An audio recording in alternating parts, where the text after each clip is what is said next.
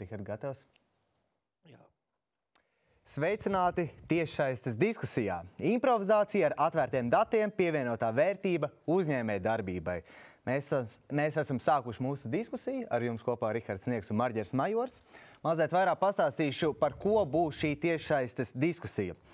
Pasākums notiek Vidzemes inovāciju nedēļas ietveros. Katru gadu Vidzemes plānošanas reģions, kas ir šīs kustības organizators, rosina padziļināt, aplūkot kādu no faktiem, kas ir būtisks veiksmīgai inovētspējas attīstībai. Redz kā, Rihard. Šī gada vienojošā tēma Vidzemes inovāciju pasākumu kopumā ir Improvizācija. Jā, par to arī mūsu virstēma ir. Kā tā palīdz inovāciju radīšanā, ko tā dod un attīsta? Šodienas diskusija runāsim par datiem un improvizāciju ar šiem datiem. Mēs, mēs būsim šīs diskusijas dalībnieki, Rihards Sniegs un Marģers Majors. Mēs nākam no improvizācijas teātra. Uh, gadi gan gājuši uz priekšu, un Rihards ir klasificējies kā aktieris. Ja? Mm -hmm. Es esmu kā kultūra korespondents, aktualizējies jau. Taču mūsu vienojošā tēma ir improvizācija savstarpēji. Šajā gadījumā mēs viņu pievilksim par datiem. Un, Rihard, man ir jautājums tev. Uh, šodien Jā. ir 2023. gads. Jā, Cik svarīgi ir dati tavuprāt? Nu, tā lielā kopumā. Dati? Ir īpaši uzņēmējdarbībā ļoti. Man šķiet, ka ar katru gadu vairāk saprotu, vispār, cik ļoti dati ir noderīgi. Mhm. -huh. Sākumā tur kaut kur ievada, vai ne? Tu pierģistrējies kaut kur, un tad paprasti, kā tevi tur sauc. Tad -huh. paiet daži gadi, un tad uh, pēc visas informācijas, ko tu atstāji internetā, jau tu redzi, kā tas tiek izmantots. Uh, tā kā teikt, daudz uzņēmumu visu laiku pērk informāciju, jeb datus. Mhm. -huh lai nu, teikt, izmantot to savā biznesā. Tā kā dati ir viens no tā teikt, mūsdienu zelts, ja lai arī kur tas būtu. Jā, es piekrītu. Man, man liekas, vēl, ka vecā e-pastā ir visi tie vecie spami, kur tu esi kādreiz reģistrējies uz veco e-pastu, un viņi ir tik daudz jau, -hmm. ka tie dati jau kaut kur vienmēr saglabājās. Man joprojām tā man nekas nav mainījies. ir tas viens mūžīgais e-pasts ar pilnīgi visu iekšā. Yep. Mm -hmm. uh, piemēram, kur ir kaut kāda tā, ja tev ir iespēja izmantot kaut kādus datus, kur tu viņus izmanto tavā pasaulē? Ja man ir iespēja izmantot kādus Jā. datus, mm, es tagad vienkārši. Es tagad iz, nesen izdomāju, ka es gribu pataisīt pats savu biznesu. Wow! Jā, Tiešām? jā. nu, nu, Es izdomāju, ka man vajag taisīt tā kā, kā, tā kā cilvēkiem, kur, kuriem ir taisījis kāzas. Okay. Jā, Cilvēki precēsies, jā. jā. Un tur vajag kaut kādas aktivitātes viņiem, kā izklaidēt savus viesus. Es domāju, ka man, vajag, ka man ir izklaide, ko es viņam varu piedāvāt, un tu man vajag atrast visus, kas precās. Okay. Tāpēc es eju uz bāriem vakaros visu laiku. Aha. Bet, ja būtu kaut kāds datu grozs, kur ir pateikts, šie cilvēki precēsies tuvākajos gados, tas ļoti atvieglotu man darbu. Bet es nezinu, kur tāda data pieejama. Nu, Es domāju, mums šodien būs uh, cilvēki, kas iespējams mācīs atbildēt uz šo tavu jauno uzņēmējdarbības un biznesa plānu modeli. Jo cilvēki precās un uh, laulības tiek uzskaitītas, reģistrētas. Jā. Uh, pirms cilvēki precās, tas gan īsti nav reģistrēts vēl. Jā. Uh, bet es piekrītu, ka nu, cilvēki kaut ko grib darīt. Un skaidrs, ka tev forša vīzija, dati ir kaut kādi pieejami. Un tad ir tā tava prasme, kā tu vari viņus ņemt tālāk un ar viņiem improvizēt. Pūm! Improvizēt. Man es zinu, ka daudzēji nav bijuši uz improvizācijas teātru, un ar improvizāciju varbūt ir tāds varbūt interpretējams mm -hmm. vārds. Mums tas nozīmē kaut ko vienu, kādam citam kaut ko citu. Kas, kas ir? Nu, tu sevi definē kā improvizātoru. Okay, jā. Kas tas ir? Nu- visi mēs neesam improvizātori. Mm, nu, savā ziņā esam. Nu, laikam tā būtiskā atšķirība improvizācijas teātrim ar klasisko teātri. Nu, tā mana izpratne par to, ka klasiskajā teātrī viss šis aina, stāsts iet uz priekšu, jā, ir scenogrāfija, dialogi, ir noslēgums, un tu zini, uz kādu stāstu es atnācu. Turpretī improvizācijā tas ir līdzīgi, bet pretēji, ka tu ej atpakaļ gaitā. Tu nezini, uz ko tu ej, tu tikai redzi, kādi dati vai kāda informācija, te, kādi dialogi tev bijuši. Ja? Un beigās tu tikai redzi, kā šis ceļš noiets. Līdz ar to tā prasme improvizēt ar doto informāciju, nevis uh, turpretīm vadīties pēc dotajiem lielumiem, kādi mums ir, bet prast ar viņiem improvizēt, tā noteikti ir māka, gan mums uz skatuves, vai citiem improvizatoriem, vai citiem cilvēkiem. Turpretī, kā iet šo citu ceļu un padziļināti rakt un strādāt ar viņiem. Es uzskatu, ka katrs mēs esam improvizatori kaut kādā ziņā, pat tai pašā uzņēmējdarbībā, par ko mums ir šodienas tēma. Jo dotie lielumi mums ir un mēs viņus izmantojam, bet iespējams mēs pat nezinām, kādi vēl mums ir rīki doti. Par piemēru, atvērtie dati gadu ir jau atvērti un pieejami visiem. Jā. Tā ir. Uh, un Tie jau zināja, ja, ka teikt, tie dati ir vairāk kā šo es biju dzirdējis. To, tur tas tāds, vai ne? Nekustamā īpašuma teikt, tirgus dati ir pieejami vairāk kā gadu brīvi cilvēkiem. Un pirms kāda laika Ok. tas bija maksas pakalpojums, lai tiktu pie šiem datiem, bet tagad viņi ir bez maksas. Vai tu zini, kāpēc viņi bija maksas un tagad ir bezmaksas? Es īsti nezinu. Es Nav. īsti nezinu, bet es zinu, to, ka tagad jebkurš uzņēmējs var caur to pašu inovāciju izmantot šos datus savā jau esošajā uzņēmumā, pakalpojumā, vai arī kaut kādā produktā, ko viņš ir izveidojis. Jau, nu, arī viņš var pa- pavisam kaut ko jaunu izdomāt. Tā ir. Jau kaut kādu jaunu uzņēmumu, iedvesmojoties no tiem datiem, kas ir pieejami. Mm. Man pirms nu, vēl nesen nezināja, ka kaut kas tāds vispār būs pieejams. Jā, tāpēc mēs šodien arī par to parunāsim. Kādi ir tie dati, kāpēc viņi ir bez maksas un uh, ko ar viņiem var darīt? Sāksim ar to. Jā. Un Kā, ja ma, pa lielam, es gribētu vadīties, ka tev ir šī ideja par uh, kāzu aktivitāti un tev vajag Jā. kāzu datus. Ja? Nu, to mēs droši ekspertiem pajautāsim, jā, kāda ir iespēja manai uzņēmēji darbībai pielietot šos datus. Jā, Vai, nu, nu, piedod, tavai. jā. Tad jau redzēs, vai ar, ar, ar tiem nekustamiem īpašumu datiem varēs to realizēt. Uh, bet šajā ziņā mēs laikam neesam eksperti. Varbūt kaut ko pastāstīt vairāk par uh, nekustamā īpašuma datiem? Es pieļauju, ka nē. Nē, Atklāti sakot, nē, šis nav īsti mans lauciņš, bet šeit noteikti būs cilvēki, kam mēs to varēsim paveicāt. Uh, jā, tieši tāpēc, lai mēs tad, uh, tā teikt, uh, saglabātu jūsu uzmanību un uzzinātu vairāk, kā šos datus uh, varam izmantot, uh, iespējams, savā uzņēmumā nopelnīt to lielo. Lielo mi- naudu un mm -hmm. vispārējo aicināsim uh, kādu, nu, tā teikt, nu, nav lielāka eksperta šajā ziņā. Tāpēc aicināsim valsts zemes dienesta ģenerāldirektoru Vitu Nārnicku Jā. izglītot mūs, Sveika, Vita! cik koši. Jā, Jā. Nu, datu atvēršana bija koša notikums valsts zemes dienas pēdējā gada laikā. Faktiski 14 mēneši, ka mēs esam atvērti. Pirmkārt, es gribu pateikt sveicienus visiem vidzemes inovācijas nedēļas dalībniekiem. Un tad, jā, mēs uh, atveram datus. Bišķi vairāk pirms gada. Tie dati ir par nekustamiem īpašumiem, mm -hmm. par adresēm. Es ceru, ka tagad visi Latvijas viensētu īpašnieki var pasūtīt DPD kurjeru, un viņš atbrauks tur, kur vajag, nevis tā kā sanāca. O. Un uh, mums arī kadastra dati, tas ir tāds interesants lieta.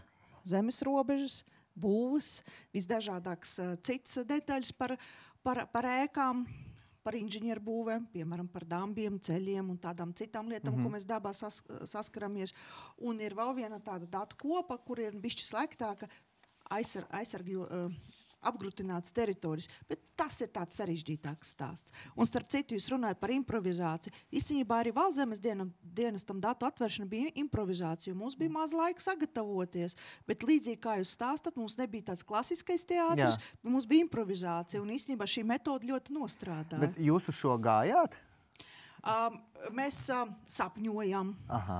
Bet, uh, ziniet, kā ar sapņiem jūs tā gribat, gribat, gribat, darat, darat, un nesanāk. Un tad pēkšņi sanāk, un tāds sajūta, ka jūs laimējat loteriju. Un mēs mm -hmm. tieši 21. gada budžeta uh, sagatavošanas laikā dabūjām ziņu, ka mums iedos nepieciešamu finansējumu, un mums bija sajūta, ka mēs esam laimējuši loteriju miljonu.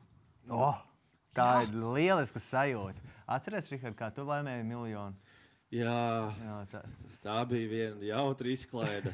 Mēneša garumā.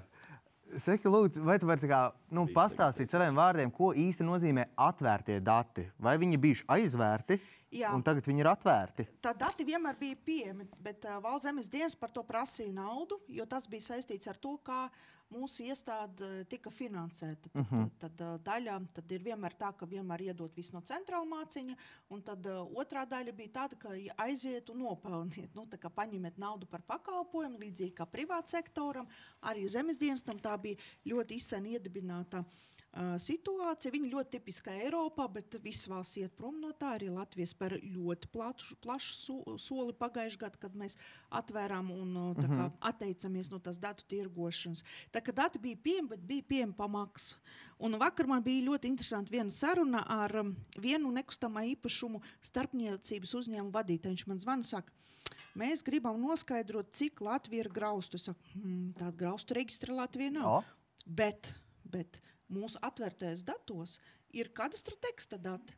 Un tur var uh, redzēt tehnisko raksturojumu. Šaka, un es varu to pa visu pavēlti uzzināt. Saka, jā, jā, atver datu kopu, paskaties, ja kaut ko mm -hmm. nav skaidrs, rakstiet mūsu foršiem kolēģiem, viņi palīdzēs saprast, kas tur ir rakstīts.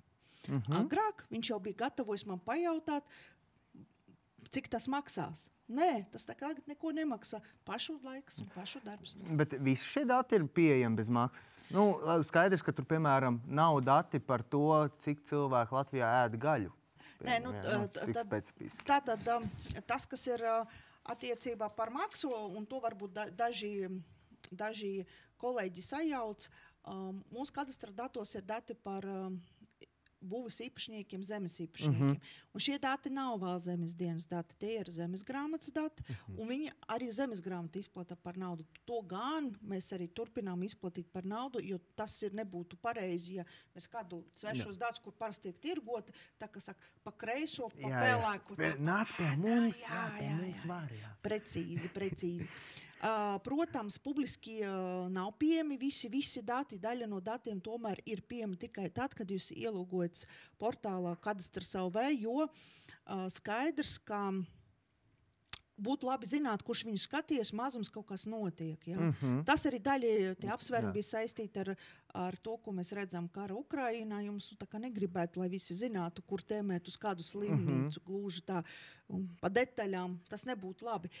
Un, un tad mēs visus datus nosat, sadalījām nosacīt trīs trīs paciņās. Vienā paciņā atvērtie dati, visi var lietot. Mums nav svarīgi, kurš ir skatījies. Droši ņemiet, viņi visi ir pieejami portālā data.gov.lv.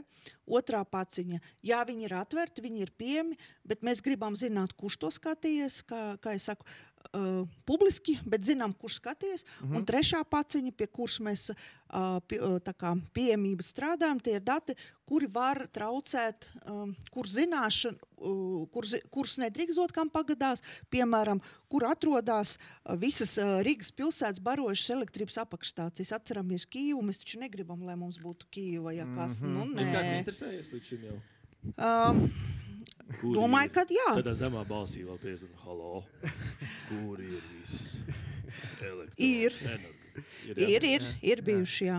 jā, jā. jā nu, ir, līdz ar to, ka ja jūs esat pat atvēruši šo platformu cilvēkiem, nu, ir svarīgi, lai jūs neuzņematies visu atbildību par to, kad jūs esat atvēruši un cilvēki viņus izmanto, varbūt kāds grib ļaunprātīgi izmantot. Jā. Uh, tad uh, arī tas mazliet tiek fiksēts, bet visu labumu guvēju vārdā. Ka, nu, jā. tā lai viss mazliet tiek kontrolēts. Līdz jā. ar to ir Izvar... jānes atbildība. Jā, jāiznes riskus, un atkal, ja kaut kas notiek, ja tomēr mm -hmm. kāds, kādam pēkšņi tomēr viņš pievērsies uh, uh -huh. melniem spēkiem, tad, uh, lai mēs zinātu, kuru personu loka meklēt, nevis meklēt visu pasaules iedzīvotājus, bet konkrētos, konkrētos uh -huh. cilvēku loka, un tad tas ir noteikti paliek par mazāku uzdevumu, tā skaitiesību sargājušam institūcijām. Saka, Vita, kopš uh, dati ir kļuvuši atvērti, kas ir 14 mēneši jau līdz šodienai, Vai ir manīts kaut kāds foršs, būtisks uzlabojums kaut kādā uzņēmējdarbības attīstībā, kā kāds uzņēmējs ir ņēmis to par labu, uh, un attīstījis jau līdz savus datus iekšā savā uzņēmuma attīstībā? Um, Mums būs uh, tālāk kolēģi, kur uh, tur vairāk varbūt varēs mhm. pastāstīt. Mm -hmm. Personīgi manā dzīvē ir tās, um, uh, man um, Covid laikā es pārvācos dzīvot uz laukiem, uz viensētu, un man mūžam bija problēma, es kaut ko pasūtu, kurjeri nezinu manu adresi. Un tagad, kaut kādā pēc mēnešiem, trim, četriem, man zvana uh, smartpost kurjeris. Es viņam saku, jūs redzat, beidzot, GPS man adrese. Saku, jā. Es saku, yes! Man vairs nav jā, jā, jāstāsta, jūs tur brauciet līdz tādam akmenim, pie tāda koka pagriežaties, un tur būs kārtība. Jā. Trīs km, pēc trim kilometriem būs māja ar, ar tādu un tādu juntu. Tas ir īstā vieta. uh, es domāju, ka daudz situāciju. Jā. jā, tādi cilvēki reģionos, tas nozīmē, ka viņam nu, viss servisi saka palikt pieejama kā reģionos. Uh, mm. Mēs redzam uh, daudz visādas tieši tāds varbūt vairāk so sociālas iniciatīvas, kur cilvēki varbūt kaut kādām tādām uh, sabiedrības interešu lietām izmantojam datus, bet uh, es domāju, ka daudzi lielie, lielās kompānijas izmanto datus, bet mēs par to vēl, vēl tikai uzzināsim. Bet spriežot pēc jautājumu mm -hmm. skaita un cik tas jautājumi paliek ar vien tādi Uh, specifiskāk, ar iedziļināšanos, ir skaidrs, ka tas rāds ar datu izmantošanu joprojām iegriežas, viņš tika uzņēma ātrumu. Es domāju, ka mēs tagad 14. mēnesī līdz kādam otram ātrumam tikuši datu izmantošana, bet Jā. mums, es domāju, kāda seša, varbūt arī desmit ātruma karba, tā ka mums ir vēl kur ieskrieties. Mhm. Ir kaut kādi gadījumi arī, ka, piemēram, nu, kad viņi bija pa maksu, bija cilvēki, kas interesējās par tiem datiem, bet, nu, pieņemsim, nevar atļauties, ja viņi ir pa maksu. Un tagad, kopš ir nu, pieejams bez maksas, viņam tāds - jā, jā. beidzot. Ir. Viņam vienkārši varbūt neatmaksājas. Vistipiskāk, nu, neatmaksājas vai, vai nav gatavi ieguldīties, vai, piemēram, samierinās ar to, ka Google Maps nav viens sēto adresu. Adresu dati vistipiskākā datu kopa. Um, tāpēc, ka vis, visiem liekas, ka adrese ir kaut kas paš, pašsaprotams, un Loģiski, visiem, jā. un visiem šķiet, ka adrese tāds ir ļoti statiska lieta, bet, piemēram, mēs tagad apkopojam statistiku par janvāri, mēs mainījām adresāciju kaut kādiem tūkstošiem objektiem. Tas nozīmē, pamainījis numuru, varbūt piešķir jaunu ielas nosaukumu, varbūt mm, izveidojis jaunu adresi, bet stāties priekšā 12 mēnešu laiku, tas ir 12 tūkstoši adreses, kaut kas pamainījies. Ja? Un tad domāt, ka es te vienreiz paņēmu un tagad 20 gadus lietošu, nu, visticamāk, tas 20 gadu mm -hmm. vecās adreses nu, nav. nav, nav Jā, labi. nu, spriežot arī pēc visas tehnoloģijas ātruma un attīstības, un cik katru dienu mums ir jauni notikumi, visu laiku ir nepieciešams atjaunot, atjaunot, atjaunot, atjaunot datus. Līdz ar to pašu, manuprāt, uzņēmēju interesēs ir ieguldīties šo datu kopējā attīstībā, jo palīdzot sev un interesējoties, tu palīdzi arī citiem cilvēkiem un citām uzņēmējdarbībām. Jo nu, tas, ko jūs esat izdarījuši labāko no savas puses, atvēruši šos datus ar to vēlmi, lai cilvēki ieguldās un investē savā uzņēmējdarbībā un attīsta. Un līdz ar to viņš arī palīdz gan sev primāri, gan saviem apkārtējiem biznesam, reģionam un pat pat tālāk, tālākām robežām. Nē, viņi arī pa, pa, palīdz arī mums, valsts zemes dienestam un arī pašvaldībām. Piemēram, vistipiskākais piemērs un vissaprotamākais ir adresēm. Jā, tad, tad mēs pa laikam saņēmām stāstu, pašvaldība nomainīja tur adrese, šiltīt uzliku, bet numurs nepareizais. Jā? Ai. Ai, jā, mēs zvanām pašvaldībai, sakām, aiziniet, jūs tur daudz, nedaudz kļūdieties. Bet iedomājieties, kāds laiks paiet, nu, es, varbūt cilvēks vienkārši sajauc tas mm -hmm. plāksnītis, nu, gadās vai ne. Un, un, un, un tādi visādi mazi starpgadījumi, viņi visi ik pa laikam notiek, viņi nav daudz, bet kas, kas, kas ir, kas ir labais. Jo, protams, strādājot valsts pārvalde, mēs visu varam uztaisīt daudz kvalitātes kontrols un visādas loģiskās kontrols, bet kļūdas var sanākt. Bet jo ilgāk, jo ātrāk mēs atrodam kļūdu vai nepilnību vai uzlabojumu lietu, jo labāk paliek visiem. Ja? Un, uh -huh. Tā sabiedrības iesaiste tur uh, varbūt tam cilvēkam tas prasīja precīzi 5 minūtes mums pa, paziņot, jo mums, mēs izveidojam speciālu pie, paziņošanas vienkāršotu sistēmu. Bet uh, atkal citā aspektā daudz nodokļu maksātāju naudas netika tērēts, lai atrastu un saprastu un uh, to kļūdu aptvert. Otra lieta, mēs no tiem uh, cilvēkiem, kas lieto dat, datus, mācāmies, kā var skatīties uz datus, jo mēs daudz ko uzzinām, priekš kam ir vajadzīgi. Jo līdz mhm. šim vienmēr, jā, jā, to vajag, normatīvais akts paredz, bet mēs tagad redzam, ka mēs bijām arī paredzējuši pirms gada, ka kaut kādi dati, kur mums šķita, nu tā, nu tā, izrādās, viņi ir svarīgāki cilvēkiem nekā mums šķita, un tie atkal, kur šķita ļoti svarīgi, nu izskatās, nu tā, nu tā. Nu tā. Jā. tā kā tā Datu atvēršana palīdz mums izprast labāk klientu, tas nozīmē, palīdz labāk arī veidot savus nākotnes attīstību, savu pakalpojumu un tā tālāk. Nu, A, kādas jums ir attiecības ar tiem klientiem vai nu, tiem, kas var izmantot tos datus? Viņiem ir jāsazvanās, vai viņi var tā kā savā nodabā iet mājaslapā, uzzināt visu, kas ir Vai visi nepieciešams. pašsaprotams? Vai ko konsultēties, cik ļoti tur uh, viens pats var galā tikt cilvēks, un cik Redz- ļoti ir tā redzēt- sadarbība kopā. Redziet, mēs cilvēki esam dažādi. Tā kā tā portālā DataGovLV ir izlikta informācija, apraksti, dažādi kontakti un tā tālāk. Un mēs saprotam, ka cilvēkiem nu, dažādi, mums arī paziņu da loka dažādi. Man ir, es esmu pati nāk no IT pasaules, man lielākā daļa uh, kolēģiem.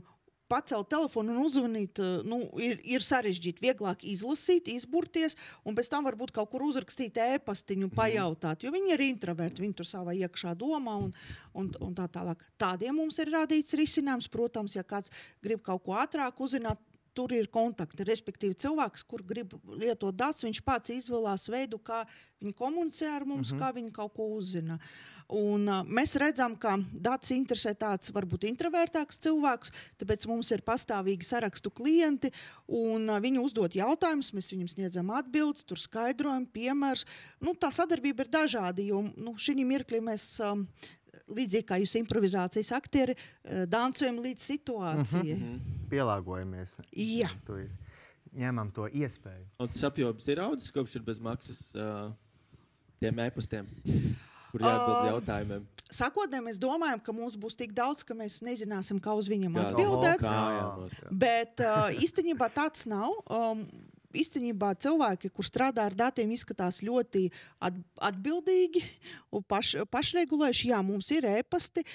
Protams, viņam tur, ja kaut kāda tēma sabiedrība uzviļņo, tad radās vairāk interesi. Bet pašlaik mēs redzam, ka tiešām mēs kontaktējamies ar tiem, kur grib izprast un izmantot datus, uh -huh. kuram rodas jautājumi, kuram varbūt atrod arī kaut kādas datu problēmas. Paldies viņam li liels. Uh -huh. un, saraksta nav tāda, ka mums vajadzētu tam algot veselu departamentu vai kā citādi. Viņi ir ļoti, ļoti saprātīgi, ļoti mm. panesama un tāds sakotnējs bailes, nu, tūlīt viss metīsies. Tā nav. Jā. Nu, nu, sā, sākums bija, bet tam jūs bijāt gatavi. Līdz ar to tas jau 14 mēnešu laikā ir nostabilizējies. un Aptuveni tās vadlīnijas jau ir noturīgas. Mēs tagad redzam, ka tagad, salīdzinot 14 mēnešus uh, atpakaļ, mums uzdeva tāds um, vienkāršāks jautājums, uh -huh. tagad uzdod dziļus jautājumus. Tāds, tas nozīmē, ka mm, roka dziļumā. Rokdzīvam pašiem ir tāds jautājums. Es nemaz nezinu, šo atbildu uz viņu jautājumu. Ko man darīt? Bet tu uzzināji kaut ko vairāk tagad par atvērtiem datiem? Mazliet vairāk, jā, bet man ka vēl prasās. Gribās mazliet saprast, ko, ko, ir tie, kas ir tie cilvēki, kas lieto tos datus. Nu, jā, tad mums ir. ā, Mums studijā būs ā, daži pat, teiktu, datu entuziasti, kas izmanto datus, Ko? kuriem ir darbs saistībā ar datiem. Ja? Un, un ko ar tiem datiem var panākt reālajā dzīvē? Būs Jo- vēl kāds? Jā, mums būs veseli trīs diskusijas pane, eh, dalībnieki. klāt. Um, Man neviens nav neteicis. Tā tad es aicināšu pirmo. Tas būs uh, Sijā Jāņa Sētas, Geogrāfiskās informācijas sistēmu vadītāju Dāvi Valteru Imuru. Ah, jā, un, dārgie tiešai skatītāji, mums ir arī pat dzīva auditorija, ja, ko jūs varbūt pat neredzat. Ah, var vai kamera pag... Nē, nu labi, jūs, jūs viņu neredzat, ja, bet ja jums ir iespējams kāds jautājums šīs sarunas laikā, ko jūs dzirdat tiešsaistē, jūs droši raksta komentāros, mēs to uzdosim. Sveiks, Dāvi! Sveiciens! Tāvi, uh, mēs uh, ar tevi jau mazliet parunājām, pirms mēs sākām šo diskusiju. Uh -huh. Tu teici, nu, ka rīts bija smags, un uh, mēs iedosim tev tādu nelielu improvizācijas uzdevumu. Bet nestraucies, tev būs kopā ar Marģeru šis Ok. uzdevums. Tas, ko jūs uz, uztaisīsiet, jums būs tāda asociācijas ķēde. Labi. Es pateikšu pirmo vārdu, tev dāvi. Pirmo vārdu, un tu teiksi asociāciju no tā vārda. Un tad Marģers ņems asociāciju no tava vārda, un tad tu atkal ņemsi asociāciju no Marģera vārda. Un tā jūs izveidosiet tādu ķēdīti līdz kādam pavisam citam vārdam. Okay. Apmēram skaidrs? Ok, aiziet. Labi, tad pirmais vārds ir robeža. Zeme, Uh, kurmis, bedra, uh, Latvijas valsts ceļi,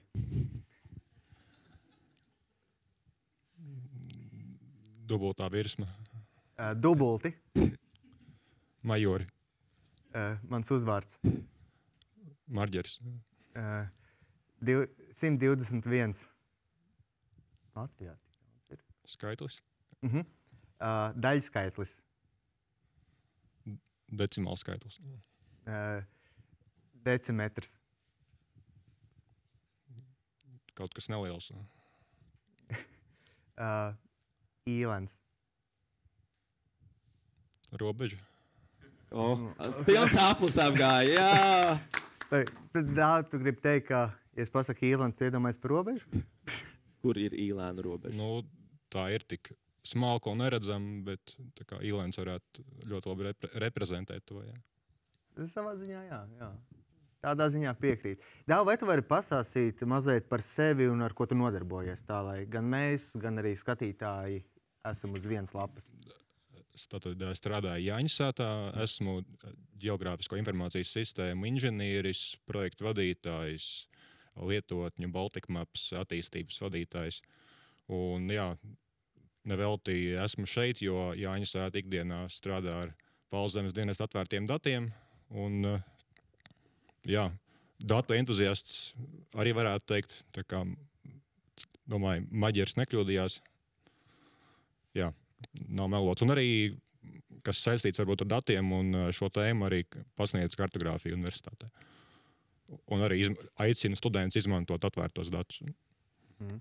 Un, uh, ja tu aicini studentus izmantot atvērtos datus, kā tu izmanto atvērtos datus? Kā tas tev palīdz darbam? Agrāk viņi bija aizvērti. Tagad viņi ir atvērti jau 14 mēnešus, cik mēs zinām.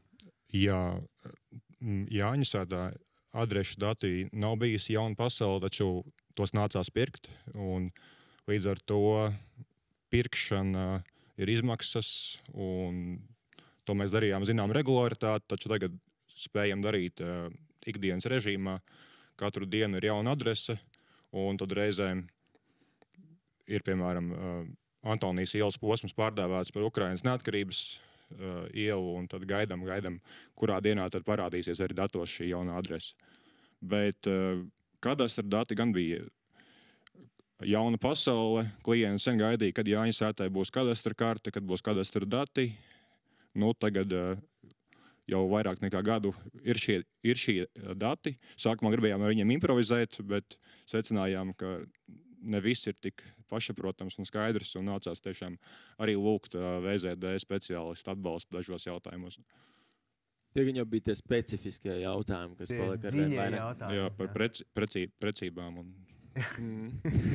Bet senāk, tu jūs jau bijāt klients, nu, kad vēl bija pa maksu. Jā. Senāk, jūs izmantojāt šos datus, un tagad jūs tikai vēl vairāk paplašinājāt savas iespējas uh, pēc tam, kad dati palika pa brīvu. jā, precīzi, jā. Okay. Vai jums ir uh, vēl kaut kas, ko jūs plānojat, uh, kā izmantot datus? Um, Mēs noteikti ga- gaidām uh, turpmāku datu atvēršanu, uh, apgrūtināto teritoriju, informācijas sistēmu datus. Jo, Kas ir apgrūtinātās teritorijas? piemēram, Tas elektrības. aizsargi joslas, uh, dažāda veida, vai, vai tas būtu diškoks, elektrolīnija, militārā teritorija. Es pieļauju, ka kaut kas no tā nekad netiks atvērts, zinām, iemeslu dēļ, bet uh, Par dižkokiem varbūt atvērs. nu, par diškokiem cerams, kaut gan, nu, ja vien tas uh, nesamotivēs diškoku zāģētājs. Jā. Jā, nesen bija tāds. Tā no- malu zvejnieki tikai ozoliem. Jā, briesmīgi. Ko teici? Nē, nesen bija vienkārši notikums, kad viena diškoku pat Rīgā kāds nozāģēja.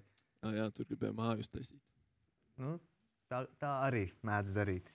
Um, cik, cik gadus jūs jau esat teikt, izmantojot tos datus? Senāk jau tie pirmie. Uh, nu, droši vien tas jau notika pirms es sāku strādāt uzņēmumā, bet es mi- minēju, ka gadus nepilnus desmit. Bet, mm. nu, ja- jaunie, jaunie atvērtie dati gan ir, tā kā, Ah, protams, uh, 14 mēneši līdz ko, līdz ko uh, viņi uzrādījās. Un jau drusku pirms tam jau bija pieejami testa paraugi, tad mēs jau sākām izpēti, un, ko no Mhm. visa tā var izdab, izdibināt un uztaisīt. Jā. Bet vēl noteikti vis, visus, visu neesam uh, izpratuši un izdomājuši visas neierobežotās Mm. iespējas. Jā. nu, tas noteikti prasa kaut kādu ie- ieguldījumu, pat eh, nu, vairāk va- sakot, ilgtermiņā. Um, taču pie jūsu uzņēmējdarbības pasaules līdzīgi, līdzīgai uzņēmējdarbībai, kas ir tāds varbūt ieteikums, ko jūs esat ņēmuši vērā un kas varētu palīdzēt citiem lī, līdzīgai uzņēmējdarbības uh, videi, uh, kas izmantos šos datus tālāk? Jo skaidrs ir viens tas, ka cilvēki daļa nezina par šiem datiem, tāpēc arī šī, šī diskusija ir, lai iedrošinātu vairāk, ka šos datus var izmantot un viņus pat iedrošina izmantot. Um, bet tev un citiem līdzīgi domājušai uzņēmēju darbības cilvēkiem, kas ir tas, kas tev palīdz vieglāk viņus izmantot un saprast un likt darbā?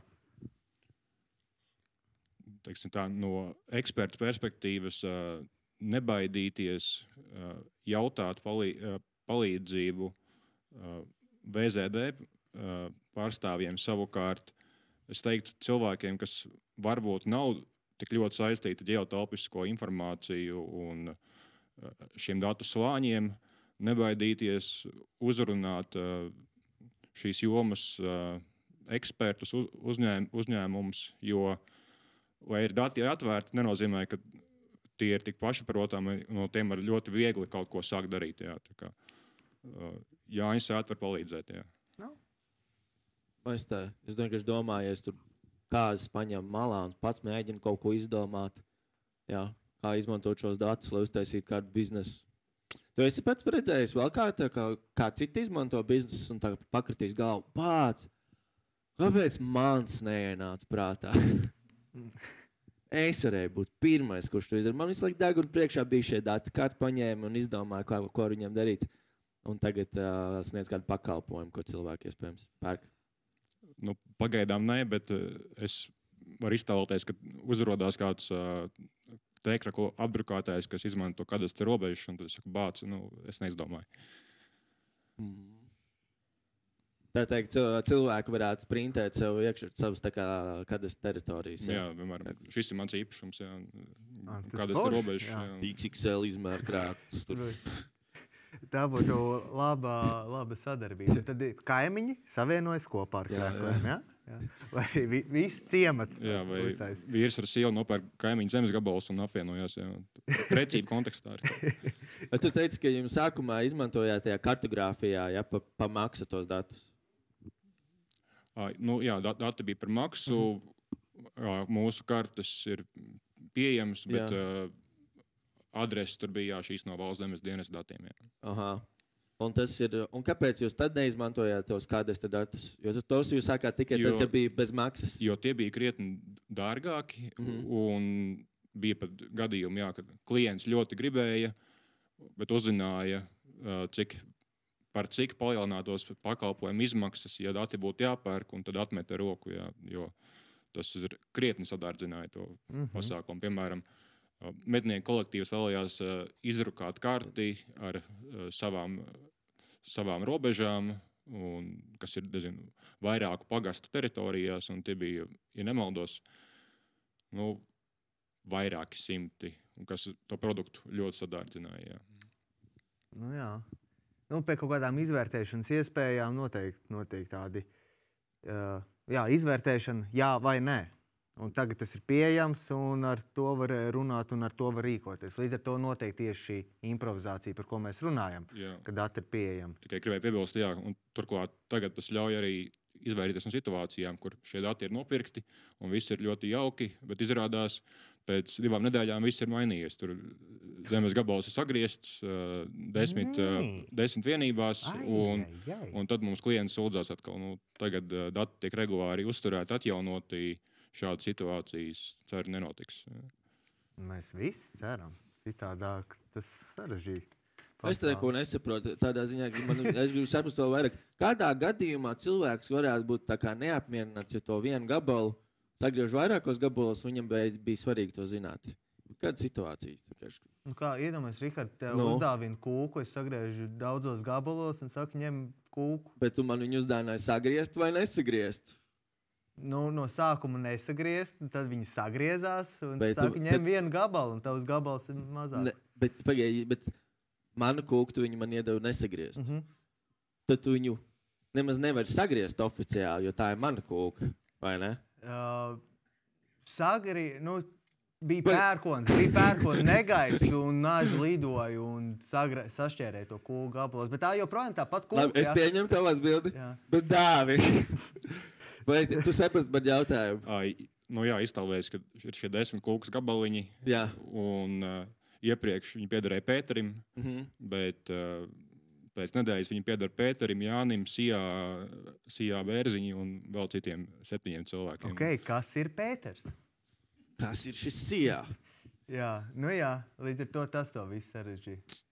Kā Man, man, mans piemērs bija daļai precīzs. Jā. Paldies, Dāvā, par papildinājumu. Paldies. Uh, aicinam nākamo uh, mūsu diskusijas viesi. Labi. Uh, citādi mēs esam Dāvi jau izprašņājis krušas ķērs. Bet, uh, Jā, droši padzerēs ūdeni. Vai tev kļūst skaidrāks, Rihard, kaut kas vairāk par šiem Jā, lietām? es teikšu 7%. 7%. Tas ir kaut kas. Man vajag vēl. 7%.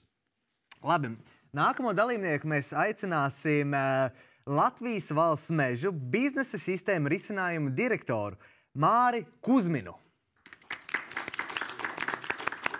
Kā Mārcis ienāca ar mikrofonu, uh, glāzi ūdens. Paldies par mikrofonu. Jā, Māri, vai tu lūdzu arī mazliet pastāstīt par sevi? Pagaid, pagaid, pagaid. Paga. Es atvainojos. Nu, Vai Ar improvizāciju Ah, ok. mazā. Jā, jā. Labi. Neviens netika caursveikā. Māri, tev arī ir uzdevums. okay. Uh, mazliet citādāks uzdevums. Tev arī būs asociācijas. Uh, bet šajā gadījumā es tev atstāšu vienu pašu. Un tev būs asociācijas jāsaka no pirmā vārda. Katra asociācija, piemēram, ja būtu mašīna, es teiktu, o, ceļš. Tas ir viena asociācija, un tas ņem asociācijas nevis, to, nu, nevis no ceļa, bet joprojām no mašīnas. Un tev tur 12 asociācijas no viena vārda jāuztais. Un šīs vārds, no kā tev jāizdomā 12 asociācijas, nezinu, nav problēma. Vienkārši tā, mums ir daudz laiks. Es tieši šajā gribēju teikt, tas var ievilkties mazliet. 12 asociācijas no vārda atvērtie dati. Wow. Valsts zemes dienas tie Ok. būs jau trīs vārdi, vai ne? Nē, viens, viens, viens. viens. Tā ir komba. piefiksēšu. Labi. Jā, nu, varam turpināt ar Latvijas ģeotelpisko informācijas aģentūru. Tie būs Mhm. uh, divi vārdi. Tad es varētu teikt, um, atvērto datu portāls. Tāda asociācija ir Creative Commons. Uh, Nē, sauksim Latvijas valsts mežu arī pie viena. Jā, jebko- jebkas der, ko tu domā. Arī zilonis skaitās. Galvenais, ka tā ir tava asociācija. Galdiņš, Jū? uh, Marģers, Oh, um, Jāņsēt. Jā. Nu, ko tādu pēdējo varētu nosaukt? Nē, bija 12, vēl 3. Jā, nu tad jau mēs varam ilgi. Vides aizsardzības reģionālās attīstības ministrija. Oh. Paturpināsim satiksmes ministriju un tieslietu ministriju. Labi, Domāju- paņemsim to pašu tieslietu ministriju. Es vienkārši gribu saprast, kāda bija tā asociācijas ķēde no atvērtiem datiem līdz aizsardzības ministrijai. Kas ir tas? Kas tad Līdz tieslietu ministrijai. līdz tieslietu aizsardzība arī tur nav tālu. Nu, tieslietu ministrija un valsts zemes dienests ir diezgan tuvu stāvošas uh, iestādes, tāpat tās kā aizsardzības ministrija un, un Latvijas ģeotelpiskās informācijas aģentūra. Uh, mums par visām valsts pārvaldes institūcijām tipiski kāda no, kāda no ministrijām ir atbildīga, līdzīgi kā par uh, Latvijas valsts mežiem īpašnieks ir uh, zemkopības ministrija, tāpat tās ir. Pa, pa, pa, pa. Tāda arī tā, tā asociācija ķēde no mm. iestādes, no atvērtajiem datiem līdz, eh, līdz vienai vai otrai ministrijai. Labi. Marģer, Jā, tad eh, vai tu vari mazliet pastāstīt jā, par sevi un kā atvērtie dati tev ir palīdzējuši šo 14 mēnešu laikā? Kā tas bija pirms tam, un kā tas ir pēc tam saistībā ar Latvijas valsts mežiem, kartēm un kā jūs izmantojat šos datus? Nu, pastāstot mazliet par sevi, varētu iesākt ar to, ka pirms 15 gadiem uh, darīju līdzīgi, līdzīgi kā dara Dāvis, strādāju Jāņcētā. Uh, pie līdzīgiem jautājumiem, un, un datu atvēršanas jautājumiem un adresēm. Un toreiz atceros, mēs dublējām valsts zemes dienesta adreses. Mums bija Jāņcētē bija savas adreses, un zemes dienestam bija savas adreses. Bija divas dažādas datubāzes ar dažādām nesakritībām. Tas izraisīja dažādus jautrus brīžus. Piemēram, nu, viena un tā pati vieta saucās divos dažādos vārdos, un tad uh, ir tāda plaša diskusija par to, kam ir taisnība valsts zemes dienestam vai Jāņsētai. Nu, Nu, Kuram lielākoties bija taisnība? Nu, visdrīzāk jau ka zemes dienestam, jo nu, tur tomēr ir zināma procedūra un dokumenti, balstoties uz kādiem tās adreses tiek, tiek, tiek veidotas. Tad nevis, nevis vienkārši tā, kā, kā, kā ievāc no dažādiem avotiem. Mhm. Atbildot uz jautājumu par tiem pēdējiem 14 uh, mēnešiem, uh, pirmkārt, tas mums nozīmē diezgan daudz darba. Mēs vēl neesam visu darbu arī izdarījuši. Uh, mēs neesam nopietni pastrādājuši ar valsts zemes dienesta adrešu reģistra tekstuālajiem datiem. Bet esam daudz strādājuši ar visiem telpiskajiem datiem. Tas mums ir ļāvis ļoti ievērojami papildināt tos, tos risinājumus, kas ir, kas ir mūsu klāstā. Uh, Protams, ka tie, kas, nu, kas zina, kas ir Latvijas valsts meža sistēma, LVM geo un, un tie pu- publiskie risinājumi, būs pamanījuši, ka tur arī viss kaut kas ir pielikts klāt un ir, ir, ir, papildus lietas. Bet jāsaka, ka tas mums tikai tāds hobijs, tāda izklaide. Tā mūsu pamat nodarbošanās ir radīt ģeotelpiskas informācijas sistēmas mūsu klientiem. Tā skaitā lielajiem valsts uzņēmumiem. Un, protams, ka viņus šīs pārmaiņas ietekmē visvairāk, jo tagad, kad dati ir atvērti, mēs varam paši ar viņiem strādāt. Mēs viņus paši varam apstrādāt, vizualizēt, paši noteikt, cik liels būs kadastra apzīmējuma numuriņš, lai viņš net, netraucētu, vai tieši otrādi, lai viņi varētu vieglāk saskatīt, un visādas tādas dažādas lietas. Tā kā, nu, pamatā dažne dažādas izmaiņas mūsu biznesā, kas ir taisīt informācijas sistēmas klientiem. Var arī minēt, varbūt kādus klientus, ko varbūt es vai Rihards nojauš un zina, ar ko mēs ikdienā saskaramies. Nu, es nezinu, vai jūs ar viņiem ikdienā saskaraties, bet, nu, piemēram, augstsprieguma tīkls vai, vai Konexus, Baltigrīt, kuru pāraudzībā ir Inčka un pazemes gāzes krātu, kurai ļoti iespējams šeit tad brauc pāri. Pa vienu vai pa otru šoseju. Ok. Okay. Tad, tad, tad, nu, tāda veida klienti ir tie, kas strādā ar mūsu risinājumiem arī ar, ar, ar, ar, ar valsts zemes dienas atvērtiem datiem. Tā skaitā. Uh -huh. Tā kā ne tiešā saistībā ar mūsu ikdienu, Rihard, bet pa, kaut kā pastarpināti, nu, to mēs izmantojam visus šos lielos rīkus. Nu, elektrību jūs izmantojat. Jā, tā kā. Jā. Jā, Ar, arī tagad. mājās tagad ir Ludekla sildu tieši.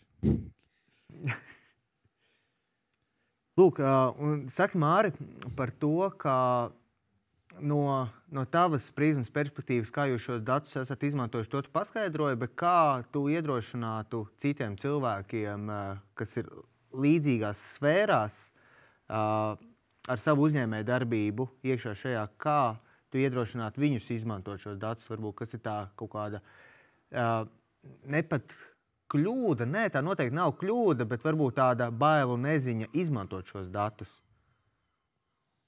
Jā, Te jau redzu, var attīstīt to Rahardu ideju par, par uh, precēšanos, uh, tikai paskatīties uz to visu telpiski. Nu, es domāju, ka jebkurš jau, jau te minētie uh, nekustamā īpašuma uzņēmumi, tur vajag mazliet iztēli, bet varētu radīt dažus labus tādus pakalpojumus mums visiem zināmajās uh, interneta sludinājuma vietnēs uh, ar, ar, ar dažādiem pa, papildinājumiem, tādiem, ka nu, tur lietotāja pieredze un iespēja atlasīt uh, dažādas nekustamos īpašumus varētu kardināli mm, izmainīties. Tā kā tas iedrošinājums būtu kaut kad patērēt laiku mazliet un paskatīties, kas tajos datos ir pieejams.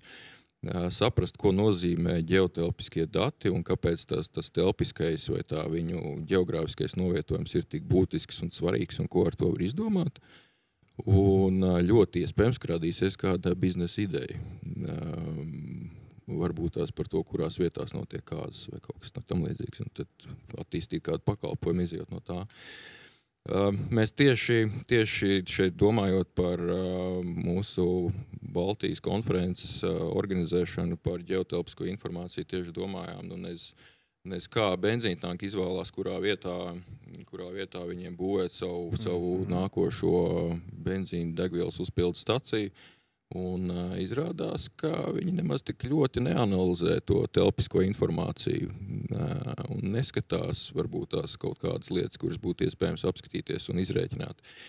Tā kā Ikdienā, ikdienā ir dažādas iespējas, kā nu, ir jāzina, ka tie dati eksistē un ir jāzina, kas viņos ir nopublicēts. Mm -hmm. Kāda data ietilpst tajā telpiskajā informācijā? Kas, kādi parametri? Nu, nu, ņemot vērā, ka pasākums tomēr vēl, veltīts uh, valsts zemes dienas atvērtajiem datiem, tad nu, te jau plaši apspriestās adreses, protams, tā ir viena no lietām. Mm. Zemes vienības, to robežas, uh, administratīvas teritoriālas iedalījums, tā, tā ir, protams, nākošā lieta. Bet, uh, Uh, bet uh, nu, eksistē šobrīd Latvijā, nu, ir vērts vienkārši cilvēkiem aiz, aizdoties uz atvērto datu portālu un paskatīties, kāda veida dati tur ir. Uh, jo nu, atbildēt uz tavu jautājumu, nu, tas kaut kādu stundu droši vien paprasīt. Tagad mēģināt līdzīgi kā ar to asociāciju nosaukt 12, 12 datu kopas. Nu, tur ir vairāk simti to datu kopu. Tā kā ir vienkārši mm. šeit jāskatās.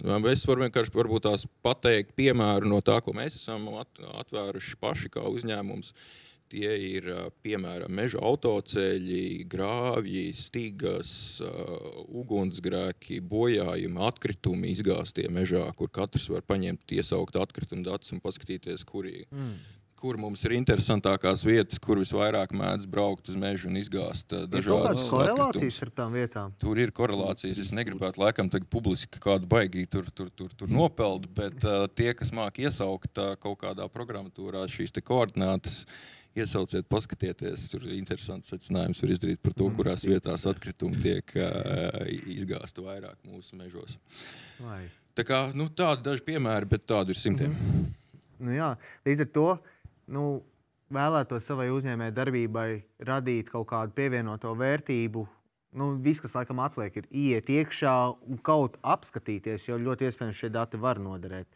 Lielā mērā, mazā mērā, bet viņi var noderēt un kaut ko.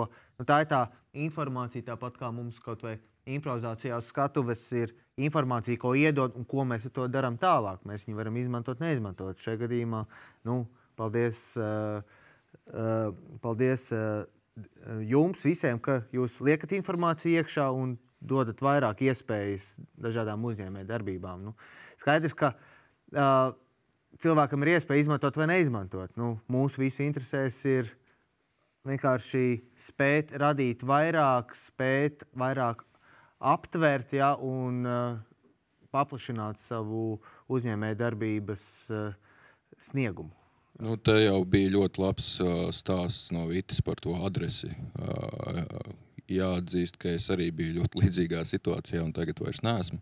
Tas nozīmē to, ka nu, par to neeksistējošo adresi kaut kur kartē. Uh, Un, uh, tas nozīmē, to, ka visādi Volti, Bolti un dažādas citādas organizācijas ir paņēmušas, viņi ir uzzinājuši, viņi no kāda ir dzirdējuši, viņi ir paņēmuši to adresu reģistru un importējuši savā sistēmās. Tagad cerams, ka mēs nu, paies vēl 14 mēneši, un mēs visi visur viennozīmīgi zināsim, kā, kāda adrese kur atrodas un kā tieši viņa, viņa saucās. Jo tas ir nu, tādā situācijā mēs esam pirmo reizi. Tā, nu, vēl daudz tam nav pielāgojušies, daudz to vēl nav pa, pārņēmuši, paņēmuši. Cik procentuāli ir tā atšķirība? Es tiešām neesmu, neesmu pētījis. Domāju, ka kaut kāda puse no uzņēmumiem ir norēģējuši, un puse no, mm. puse no uzņēmumiem vēl nezina, ka tāda data eksistē un ka viņi ir atvērti. Nu, vismaz arī spriežot pēc kaut kādām sarunām, kas notiek uzņēmējdarbības vidē. Nu, šad tad nāks pateikt priekšā citiem uzņēmumiem, ka klau, nu, varbūt tās, ka Nevajag uh, meklēt adreses uh, kaut kur par maksu, ka viņas ir brīvi pieejamas. Tādā veidā, varbūt bojājot kādam uh, biznesa dāvi, es saprotu, jā, bet mēs sakam priekšā, ka kāpēc vispār no Jāņas atšķiras pie zemes dienas ir bez maksas, tādu mēs nelieši esam. um, bet man liekas par šo tēmu.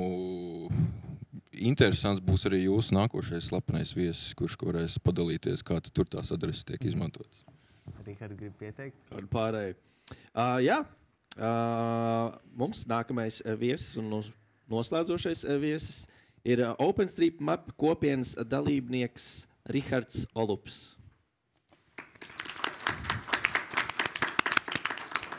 Sveiks, Rihard. Čau, Rihard. Jā, tu jau visu dzirdēji, ko jau mēs šeit runājām. Jā. Uh, bet, nu, kā ar katru viesi, mums ir jāiesāk tāda viena kā improvizācijas spēle. Es vēlētos šodien uh, iedot uzdevumu ar diviem Rihardiem. Jā, mums Aiziet. ir jau diskusijā divi Rihardi. Jā. Jā. Un uh, jums būs līdzīgi, kā mums bija ar Dāvi tāda asociācija ķēde, ka tu pasaki vārdu un Rihards pasaka vārdu. Līdz vienam brīdim, tad es pārtraukšu, un tad es iedošu nākamo uzdevumu. Nāc, jā, Labi. Rihard, Jā. sāc. Labi. Māja. Māls. Ceļš. Policija. Rīga. Pilsēta. Maziņa. Kūciņa. Pasākums. O, festivāls. Koncerts. O, ballīte. Laba daba. O, alus. Teltis. O, guļamais. La, gulēšana. Labi, paldies. Tikām līdz pat sapņiem. Un tagad jūsu tas radošākais uzdevums būs šī pati asociācija ķēde, ko jūs abi veicāt atpakaļ gaitā. Jā. Tu Tas nebūs jāatceras, es ceru. Jā, tas ne, ir jāatcerās. Jā, tu Nē. teici sapņu, un Rihards teica, ko viņš teica? Um, nakts. Aha. Tu teici nakts.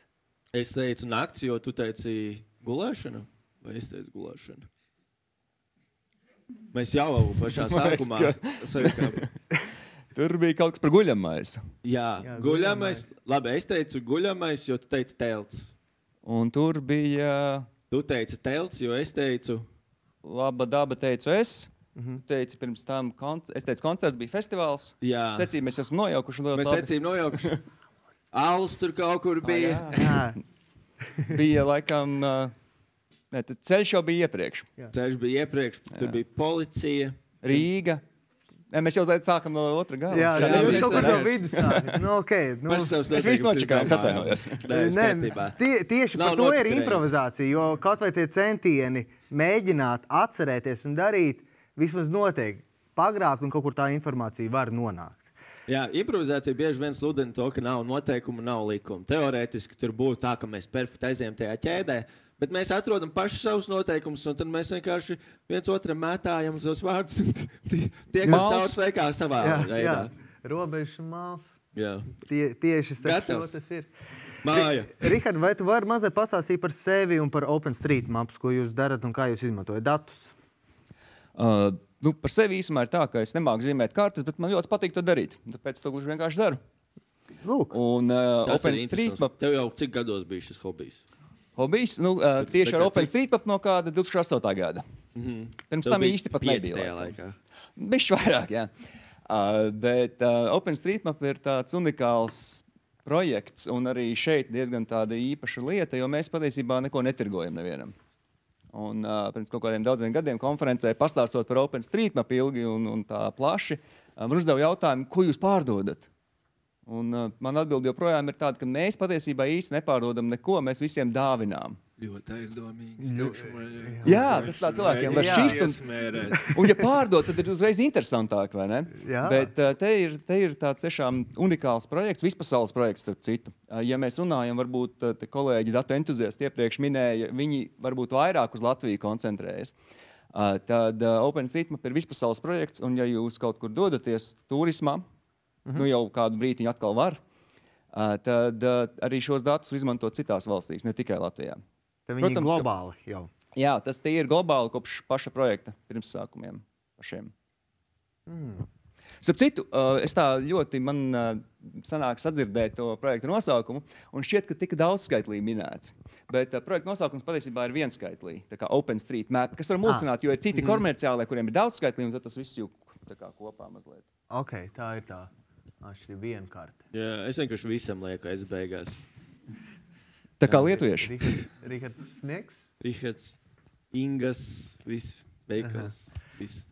Um, Es sagatavojos, un es tā kā vienskaitlīgi parādīšu visiem. Ja? Man šķita, ka varētu būt daudz skaitlis, es, kā, es jūtu, es sirsniņā jūtu, ka varētu izp- izprast kādam daudz skaitlis. Ok, Un tā ir mājaslapa tur apakšā. jā. Būsim, būsim precīzi. Jā.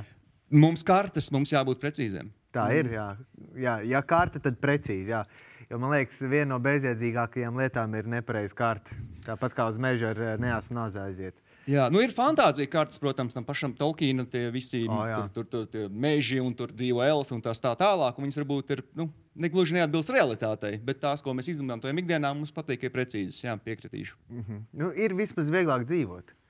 Jā. Jā, un arī interesantāk patiesībā. Es vienreiz piedalījos orientēšanās, un tur bija nepareiza karte. Tiešām vai netīšām? Uh, nu, varbūt es ne, pirmo reizi arī piedalījos orientēšanās. bet Bet, bet man šķiet, ka karte bija nepareiza. Ā, Jo karte. tas, kā es viņu interpretēju, tur nebija tā vispār. Es biju pēdējais. Aha. Vai, Tā bet, karte bija garām. bet nepareiz kārta bija tikai tev vai visiem? Es pieļauju, ka man tikai. Tad Es pieļauju, ka man tikai. sagatavoja tev nepareiz. Visticamāk, es tikai zinu, cik ļoti svarīgi ir, ka tev ir pareiza karte. Ir tīpaši, ja tās sacensības. Nu, lūk, ā, atvērti dati ir jau 14 mēneši, kā mēs esam noskaidrojuši. Ā, Kā tas ir palīdzējis tieši jūsu uzņēmumam? Mums nav uzņēmuma. A, tas Mēs nav esam uzņēmums? projekts. Mēs esam Ah, projekts, projekts, brīvprātīgo projekts visā pasaulē, tātad, un arī Latvijā. Un visi tā kā, darbojas, cik nu, tajā brīdī ir iedvesma, cik mm -hmm. ir laiks, cik ir nauda varbūt. Un, ā, Atvērti dati, līdz ar to OpenStreetMap kontekstā, protams, ka ir daudz senāk. Uh, konkrēti atvērtie dati, kas ir 14 mēneši, tas ir VZD, daļas, dažas datu kopas, no kurām vislielākā vai teiksim, viszināmākā ir adreses. Un arī OpenStreetMap kontekstā adreses ir kā visvairāk, visaktuālākās. Mm -hmm. uh, un te uzreiz tāds milzīgs, milzīgs paldies Dāvim Kļaviņam, kurš ir uh, tas kopienas cilvēks, kurš ir nodrošinājis šo adresu iekļaušanu OpenStreetMap datu kopā. Uh, ko tas īsti nozīmē, datu iekļaušana? Uh, datu iekļaušana nozīmē to, ka tie ir pieejami uzreiz visiem. Jo OpenStreetMap tas viens no, viens no daudziem bonusiem un tā burvība ir tā, ka veicot izmaiņas vienreiz, tās nonāk pie visiem lietotājiem uzreiz.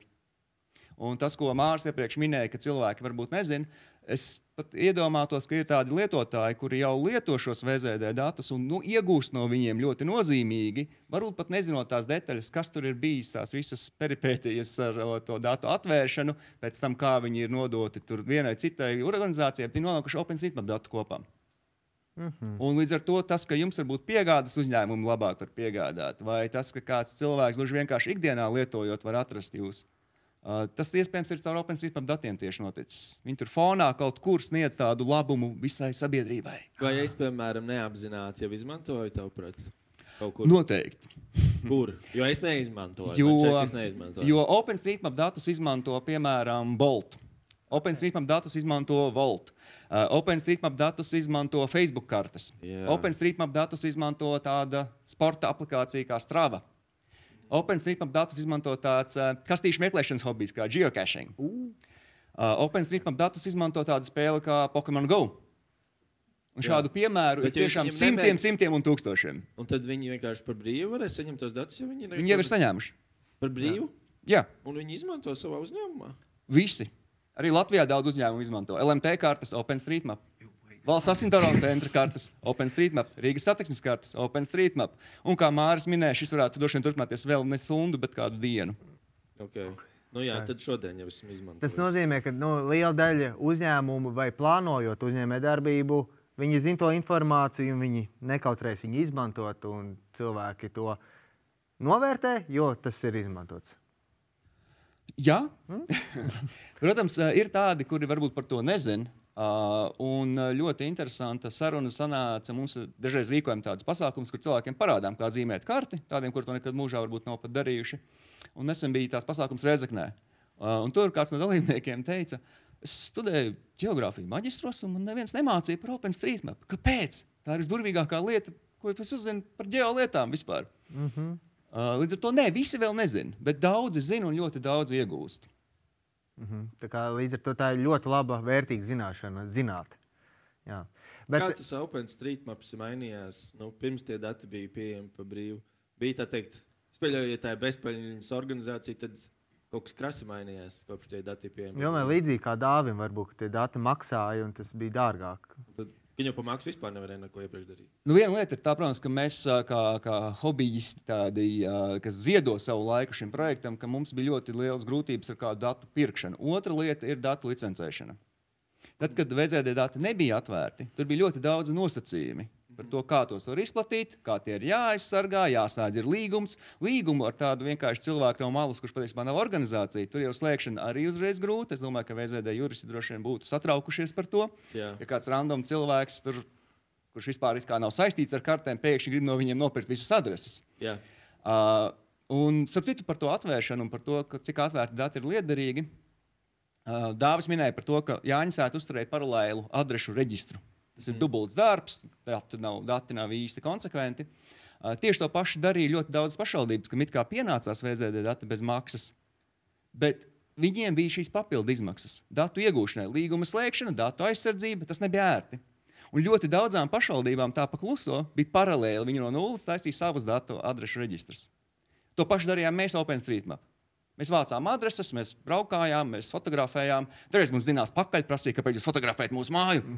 Mēs teicām, mēs taisām bezmaksas karti, un mēs fotografējam tikai jūsu adresi. Uh, protams, kopš šie dati ir pieejami un kopš viņi ir integrēti OpenStreetMap, mums vairs, nu, mums retāk dzenas pakaļ. Tas jau ir bonus. Jā.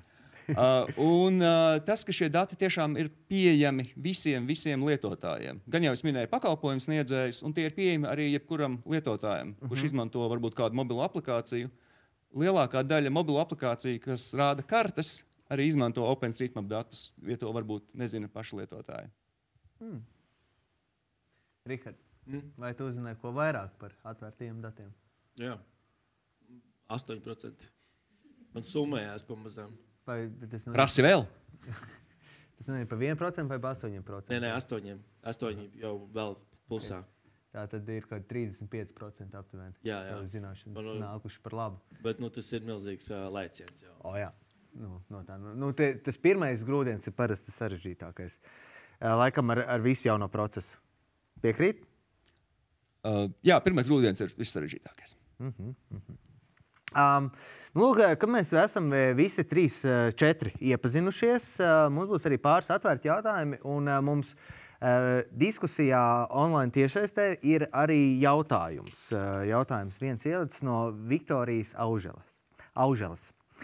Kādēļ vides zemes dienas datus atvērtos datus publicē XML formātā? Piemēram, kadrasta informācijas sistēmas atvērtie teksti, dati ir pieejami ir XM, XML formātā, bet, ja ir vēlme sac, sasaistīt tos ar telpiskiem datiem, tas nav iespējams un nākas tos konvertēt uz CSF, CSV formātu. Kādēļ tik neparocīgs formāts lietotājiem? Labs jautājums. Šitos pieņemšu sevi. Un kāpēc tik neparocīgs? Nu, tāpēc, ka XML, ka man vienkārši patīk tie burti. Un uh, varbūt kolēģi palīdzēs. man. Vita? Vai varēja saprast jautājumu? Jā, es jautājumu sapratu. Tagad tāds uh, laba, interesanti viena atbilde, kāpēc viņi. Um, tas XML uh, teksta datiem visticamāk bija izvēlēts, tāpēc, ka tādā pašā struktūrā mēs uh, viņus arī izplatām citām valsts institūcijām. Un, um, uh, faktiski no mūsu datu izplatīšanas viedokļa mums ir uh, bijis izdevīgāk taisīt, paņemt to, kas ir, un nedaudz pielāgot un nodrošināt izplatīšanu. Bet par to, mm, par to, to datu savietošanu es nebūšu tik uzreiz gatava un atvērta atbildēt šo jautājumu, jo tā, tā, tā, tas jau ir rakšana dziļumā. Mhm. Jā, tas ir tas specifiskais jautājums. Jā, tas ir specifisks jautājums, bet um, noteikti ir apsvērams, kā mēs uz viņu varētu tā eleganti atbildēt nākotnē. Um, bet XML formāts līdz ar to ir jau jums bijis eh, darba struktūrā pieejams, un viņš ir nu, vi viegli, uh, vi viegli pieejams un pārnesams. Un... Jā, nu, redzēt, kas ir um, iedomājieties, kā valsts informācijas sistēma, tas ir līdzīgi kā, nezinu, kā, lielas, kā liela dzelzceļa stācija. Ja? Un tad jums ir tuneļi, ielas un izējas, viņas ir izbūvētas, tagad mums vienkārši sakarā ar to datu atvēršanu parādīs vēl viens.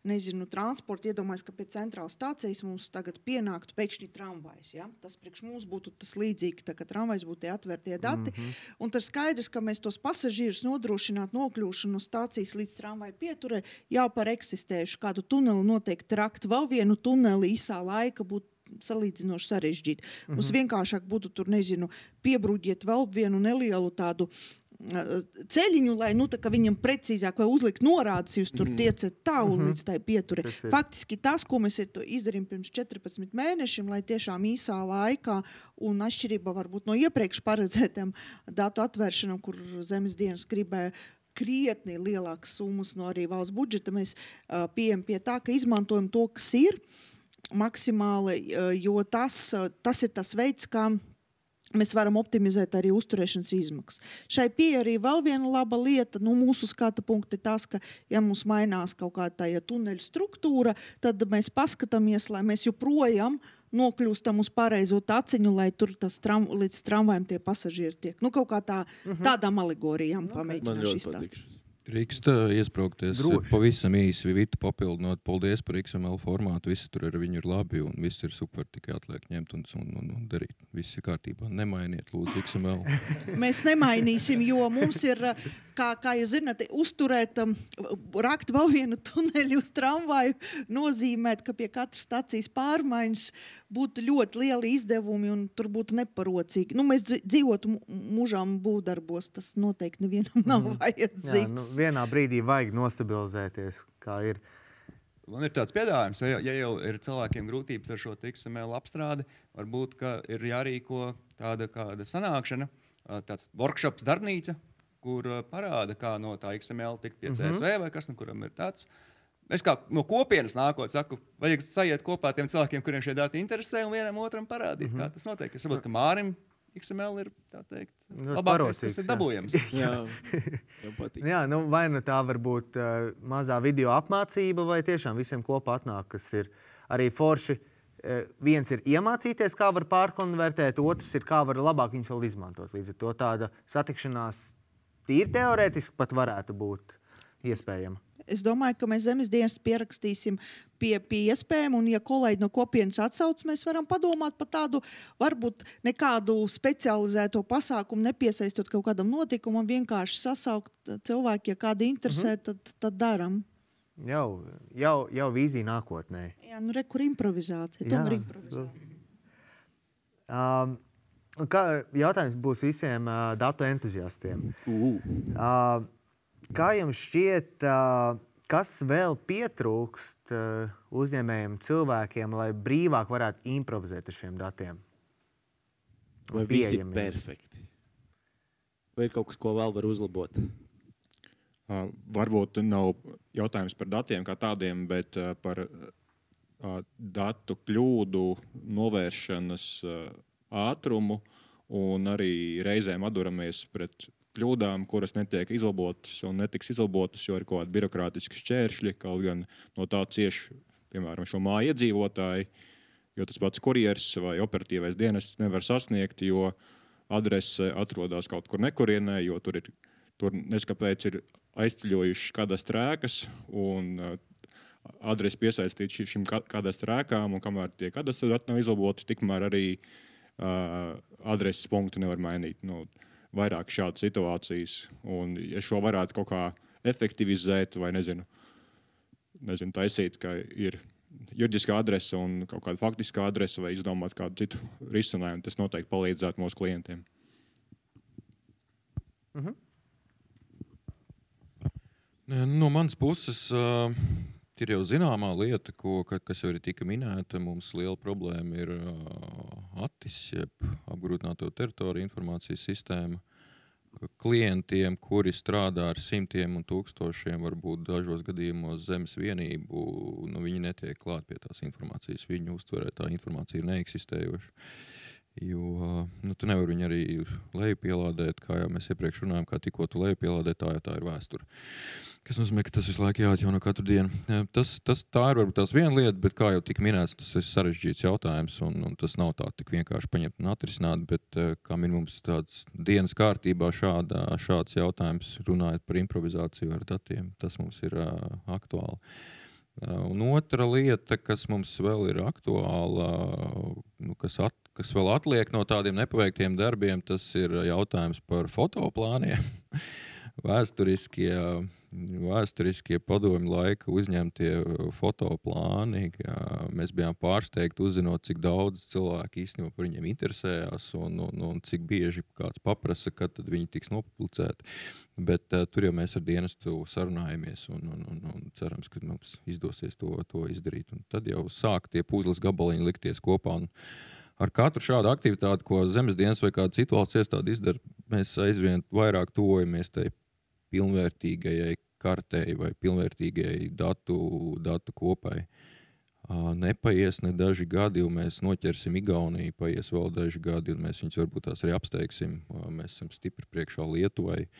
Jo ejot iekšā šajos eksporta tirgos, nodrošinot pakalpojumu Igaunijas uzņēmumiem, Lietuvas uzņēmumiem, mēs varam ļoti labi salīdzināt, kur ir Latvija, kur ir Igaunija un kur ir Lietuva. Mēs tieši tā kā geogrāfiski mēs esam pa vidu.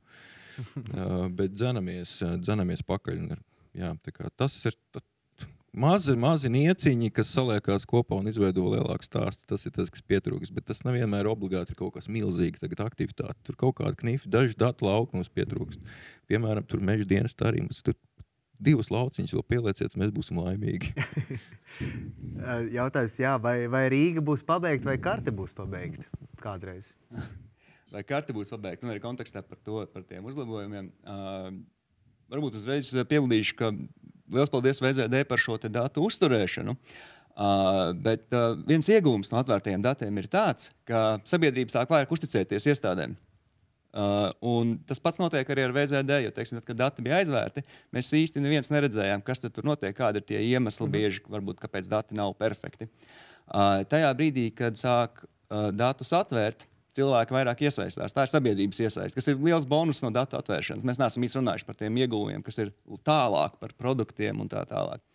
Uh, bet, uh, Tas, kas notiek ar šo datu atvēršanu, ir tas, ka mēs redzam, ka VZD ne, nemaz nevar izlabot šos problēmas, kā jau Dāvis teica. Uh, tā ir varbūt pašvaldība atbildība, tā ir varbūt īpašnieka atbildība, viņi sanāk tādā nu, pa vidu. No vienas puses viņiem ir šie problēma ziņojumi, no otras puses ir, ir nu, vai nu birokrātija, vai kaut kādi trūkumi. Jo kopumā vispār cilvēki bieži vien neizprot uh, to adresācijas procesu, kas ir atbildīgs par ko. Kāpēc jums nav adreses? Kaut gan varbūt cilvēks nevis nav reģistrējis to adresi, vai tas ir tikai īpašuma nosaukums. Šādas uh, situācijas uzpeld un arī reizēm Jānis Sēta vai arī OSM ir starpnieki komunikācijās ar VZD, ar pašvaldību reizēm arī. Tas nav uh, vismaz mēs to darām, uzlabojam mūsu pakalpojumus, arī atvērtos datus. Visas puses iegūst no šīs uh, atvēršanas un komunikācijas. Nu jā, tā lieta ar uh, tiem uzlabojumiem, protams, ka uh, tā ir no OpenStreetMap projekta puses viena lieta ir šī datu kvalitāte, saturs. Uh, nu, mēs pamanījām, tur kādā pilsētā bija upe iezīmēta kā iela, uh, kaut kur citur varbūt kāds pasta indeks nav pareizi. Un šīs lietas VZD ļoti ātri izlabo. Tiešām liels mhm. paldies mm -hmm. kolēģiem, uh, kur ir ļoti atsaucīgi un ļoti zinoši. Un tad ir tās lietas, šīs teiksim, ēku kontūras, kur ir nu, tiešām brīnumi, tur ir ļoti skaisti. Mums ir daudz piemēru, ir ielas, kuras ir divi centimetri garas. Viņas reāli eksistē oficiālajos plānos šādas ielas. Un, nu, kopumā ir, ir šādas problēmas, bet tās nevar atrisināt VZD kā datu it kā mm -hmm. apkopotājs. Uh, un tad uh, jau parādās šī sadarbība ar valsts iestādēm, ar pašvaldībām, primāri laikam jau Mm -hmm. Un es laikam aizbraucu no tava jautājuma ļoti skaisti. Nē, nē tu, tu gan atbildēji, gan papildināji. Tādās, nu, piemēram, Rīgārda biznesa ideja ir, ka viņš gribētu jā, no datiem iegūt labi, kāzu reģistru, kur cilvēki precās un vai viņš varētu īstenot savu. Nu, man, piemēram, rudenī, vasaras otrā galā un rudenī patīk iet sēņot. Ja? Nu, Es neesmu mednieks, bet medniekiem iespējams būtu ļoti forši noskaidrot eh, gan savas teritorijas, gan varbūt nezinu, stirnu migrāciju, uz kuru pusi viņi iet, ja tāda karte būtu pieejama. Bet, ja, piemēram, ņem par piemēru, es gribētu uztaisīt sēņu karti, kur, kur aug labākās gailenes. Nu, respektīvi, tas ir ļoti specifiski, bet tajā pašā laikā Ļoti interesanti. Jā. Ja man būtu tāda aplikācija telefonā, sēņu kārta, skaidrs, braukšu tur, tur man beciņi būs vairāk. Maza teritorija, bet ir. Bet, ja tev ir labs, tā teikt, punkts ar beciņām, tu gribi dalīties ar citiem. Es zinu, kur būs. Kāds atnāks un nogriezīs tavu beciņu? Nu, jā, jā, tā ir kurš... privāta karte, vai ne? Jā, jā. Pri, datu privātums sāk kļūt svarīgs pēkšņi. Tieši tad, jā. Lūk. Bet, uh, ar ko man tā kā sākt, nu, ka, kas šajā situācijā man var noderēt, kā jau, jaunām uzņēmējdarbības uh, entuziastam, man ir šie dati pieejami, ar ko es varu sākt? Nu, kā uzņēmējdarbības entuziastam droši vien jāskatās, viena lieta ir, ka to varbūt kā par privātu taisīt, ir sev tās sēņu vietas piezīmēt.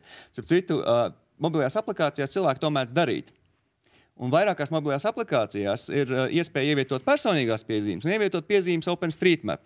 Līdz ar to mums principā ir diezgan daudz vietas, labas sēnes, labi ķerās zivis, Aha. ezeros, rāznas ezerā pilns ar bankomātiem saliktiem, tādiem vienbrīd bija.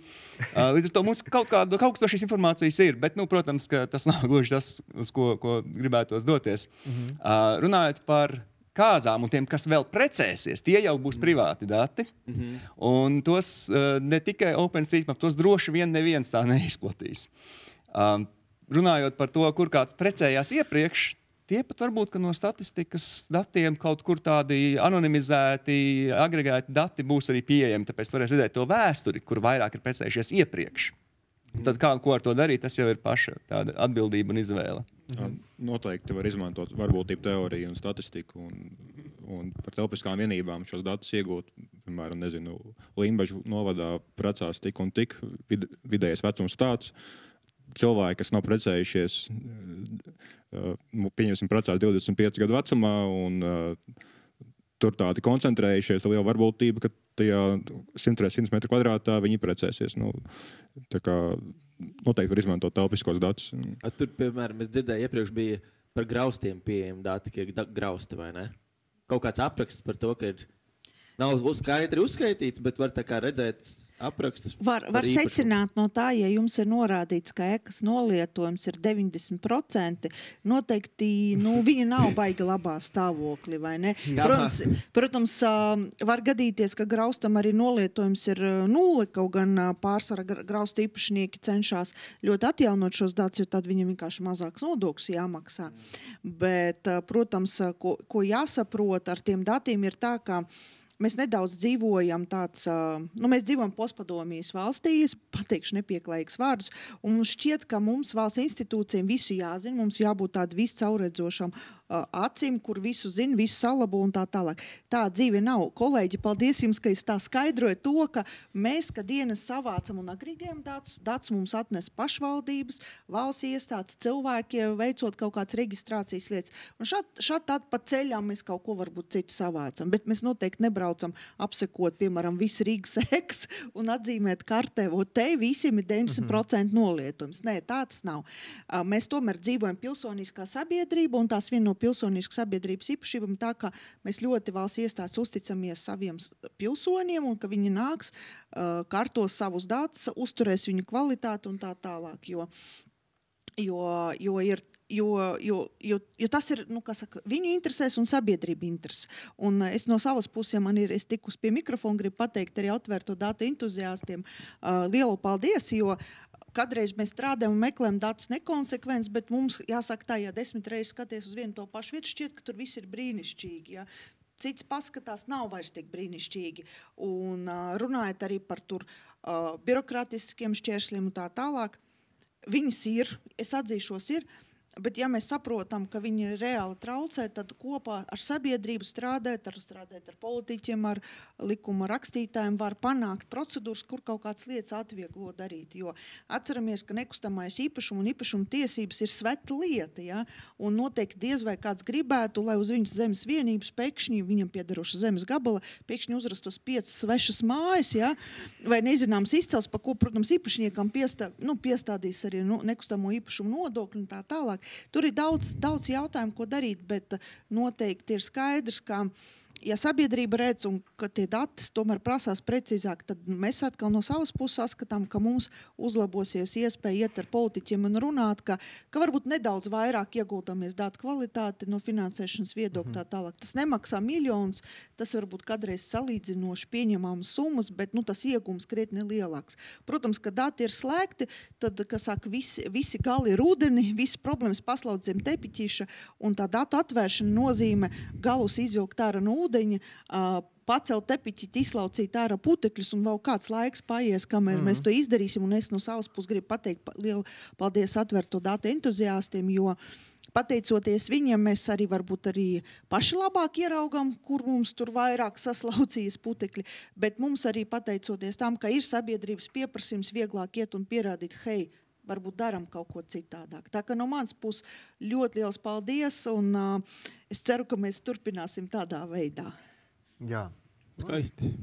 Drīkst varbūt tās vēl piebildi. Jā. Mēs no tām sēnēm baigā ātri aizlicām, bet man liekas, ka tās jautājums par sēnēm ļoti labi iet ar to Rihardu iepriekšējo jautājumu kopā par to, ko darīt cilvēkiem, lai viņi iedziļinātos atvērtajos datos. Uh, es ticu, ka jūs droši vien nezināt, ir tāds jēdziens meža nogabals. Jūs zināt, kas ir nogabals? Nogabals? Jā, Tas ir gabals. jā. No no, gabala. no gabala. No gabala tas ir gabals. Jā, meža nogabals tā ir tāda vienveidīga meža audze, kurā varbūt tās aug tur viena vecuma, viena sugas koki, un tad blakus ir cita vecuma suga un cita vecuma koki, un, un, un tas jau būs cits nogabals. Un, uh, Latvijā ir apmēram 3 miljoni šādu te meža nogabalu, un katrs no tiem 3 miljoniem apraksta apmēram 300 datu kolonnas.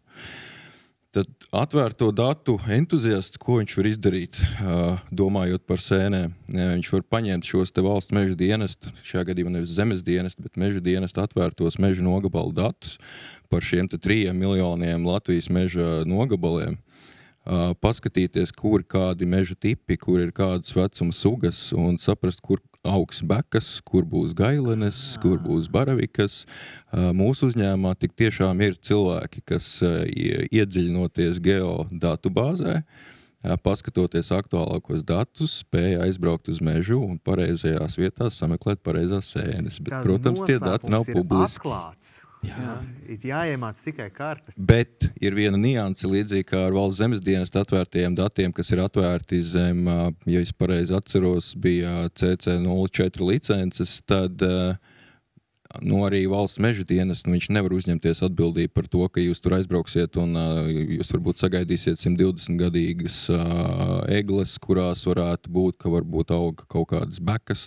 Jā. Bet tur realitāte ir jau uh, trīs gadus ja, jauna, jauna audze ar, ar, ar divus metrus augstām eglītēm, un tur tev nekādas bekas nebūs. Tad Uh, vaino- respektīvi, uh, atvērtie dati ļoti bieži un visbiežāk nozīmē, ka par šiem datiem arī nav uh, konkrēta atbildība. Nu, tad arī, ja viņi tiek nopublicēti, tad tas publicētājs neuzņemās atbildību par šo datu precizitāti, korektumu, un viņā var būt kļūdas. Vai Tev ir iespēja redzēt, kad ir ties, nu, ka tur ir bijuši tie koki, pēdējā reizē. Jā, iedziļinoties tajos datos, tur var redzēt visu kaut ko un visādas interesantas lietas, bet vienmēr jāatcerās, ka nu, tie ir 3 miljoni mūsu gadījumā, nu, mežu gadījumā, Latvijas meža gadījumā 3 miljoni nogabalu, Latvijas valsts mežos 1,6 miljonu hektāri un apmēram 900 tūkstoši nogabalu.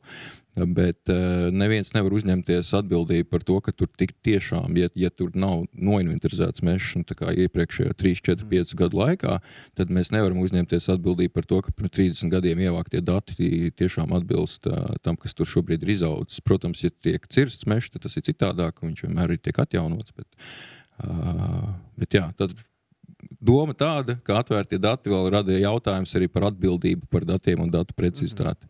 Man ir biznesa ideja. Man ir biznesa ideja. Jā. jā, okay. Tad ir nogabals. Okay. Meža nogabals, kuri konkrēti definēti, kāda koka tur aug. Marģa, tu esi bijis kāzās. Jā. Kas parasti strādā kāzās? Kāzu fotogrāfs. Jā. Ko viņš dara pēc ceremonijas? Viņš iet ar pāri fotografēties. Jā. Un tad viņiem vienmēr interesē skaistas, interesantas vietas, kur pafotografēties. Un tad es visiem fotogrāfiem tirgoju fotosesiju lokācijas, jo man jau ir skaidrs, kur ir bērns birzīts labā. Un tad viņi man maksā, un es viņiem parādu, kur ir bērns birzīts skaisti. Un viss, kas tev jāiemāc, ir kartes. Jā, un... Un tad viņam uzzīmēt vēl kārtībā. Un patiesībā tu nu, noderētu arī kadastra atvērtie dati ka par īpašumu tiesībām. Tad noskaidrot, ka, Ka tu vai gadījumā neesi pārkāpis robežu Jā, privāti. Tā ir privāti īpašumā ienācis. Nē, nē, nu, No, tu, tu kā, jānes tā atbildība. jā, uzņēmu, uzņēmumam, Ok. okay. ja tu tomēr to neatver tos datus, tad to atbildība ir jānes. Jā. Okay, tad man šitais ir svarīgi. Jā. Atgriežoties pie sēnēm un Jā. kartēm. Mēs par kartēm arī varam pamēģināt. Uh, Tātad viena lieta, protams, ir šie dati. Un ir, uh, VZD dati, kuri palīdz uzlabot OpenStreetMap datu kopu, kas ir visiem pieejami bez maksas. Bet uh, datu kopā esot bez maksas, viņa apkārt izaug arī tāda tā ekosistēma ar visādiem rīkiem. Mhm. Un, uh, lielākā daļa šo rīku arī ir pieejama bez maksas. Un, uh, tas nozīmē, to, ka jūs savas sēņu kartes vai savas uh, virzīšu kartes varat veidot uh, dažādas sarežģītības pakāpes rīkos. Ir vienkārši rīki, uh, ir tāds UMAP rīks, kur kā, klikšķinām, pievienojam punktus, pievienojam līnijas, pievienojam laukumus, un viss ir ļoti, ļoti viegli. Var pievienot attēlus, aprakstus, tāda vienkārša, bet metadatiem bagāta karšu veidošana. Uh, Vācijā kādā universitātē ir izveidots tāds risinājums, ka izdrukā papīra karti, staigā apkārt, skaties, o, sēnes, iezīmē ar sarkanu, o, virzīti ar zaļu. Pēc tam nofotografējam ar noskanē, un tev šie dati jau ir vektora formātā, jau digitāli. Un Viņš atpazīst krāsas, līnijas, tas ir dažādas kategorijas. Uh, Tātad šī te ekosistēma, kas izveidojas apkārt atvērtai datu kopai, ir pieejama jūsu biznesa idejām. Latvijā arī kas tāds varētu būt pieejams. Šie risinājumi ir pieejami visā pasaulē. Hmm, Ja gribas iezīmēt arī Igaunijas pierobežā sēņu vietas un nocelt Igauniem sēnes, lai viņiem neiet vienmēr labāk kā mums, Lūdzu, Man vēl jautājums, Vitai, man ir otrā biznesa idejas. Tā kā ģeniāla ideja. Atgriežoties pie kāzām atkal. Es nezinu, varbūt tie dati tur nav pieejami. Tad, tad, ja tur ir tās adreses pieejamas, tad ir arī definēts, kas tajās adresēs, piemēram, ir. Nu, ka tas ir viesunams, arī ir kaut kur nodefinēts. ka Uh, Tādas informācija ir, un tad es vienkārši zinu, ka tur gan jau kāds precēs. Un tad es eju un uz focēju, un man zinās pakaļ. Jā, gluži, gluži, gluži, gluži viesunāms nav. Tur, tur visticamāk vajadzēs paņemt kaut kādas valsts ieņem dienesta vai uzņēmuma reģistrā vai vēl kāda cita reģistra, kur reģistrēs viesunām datus, bet uh, noteikti um, mēs uh, kadastra teksta datos reģistrējam ēkas uh, uh, lietošanas tipu. Vai, tād- vai tā ir daudz dzīvokļu māja, vai tā ir noliktava, vai tas ir kultūras nams. Protams, daudzām tām ēkām kopš viņas uzbūves laiku gaitā mainās varbūt tas lietošanas veids. Nevienmēr atnākot un paziņot valsts iestādēm, bet ir dažas, daži, daži, daži ēku tipi, kuri ļoti precīzi. Tas ir ārstniecības iestādes, jo vienkārši citādi viņi tur nedrīkst sniegt to pakalpojumu. Un vis, visādi veidi lietas, kur notiek ā, pārtikas apstrāde, kur ir virtuves, tur, tur arī pārtikas veterināras dienas ļoti konsekvents. Līdz ar to nosaprast, kur ir noreģistrēta. Uh, Tā kā virtuve, jā, jūs visticamāk varēsiet, nu, visticamāk, viesu namā visticamāk vajadzētu būt virtuvē. Protams, ja tā ir vienkārši smuka koka konstrukcija, stāv kur nekurienes vidu, tur varbūt grūtāk būs atpazīt, bet um, tā kā izmantojot loģikas metodas, atlases, varētu ar zināmu precizitāti iezīmēt, kur ir tādi potenciāli viesunām. Protams, tur, kur ir lielas ēdināšanas iestādes, jūs noteikti konstatēsiet no mūsu kadastra teksta datiem. Mm. Un, tur ir arī kaut kāds filtrs, pēc kura, kurus var ierakstīt filtru, un tad man atrod visas Latvijas uh, vietas, kas ir reģistrētas kā ēdināšanas vietas. Un man parādi punktīs. Aha, nē, tad jums Ai. vajadzētu paņemt, lai jau pielādētu datus, un tad, um, vai tas ir XML?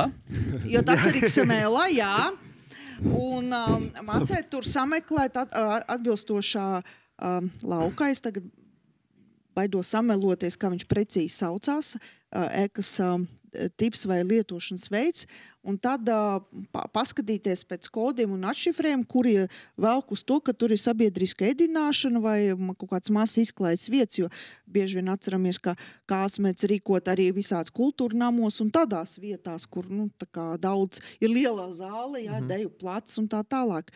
Tā kā tur būs nedaudz jātaisa improvizācija ar datiem.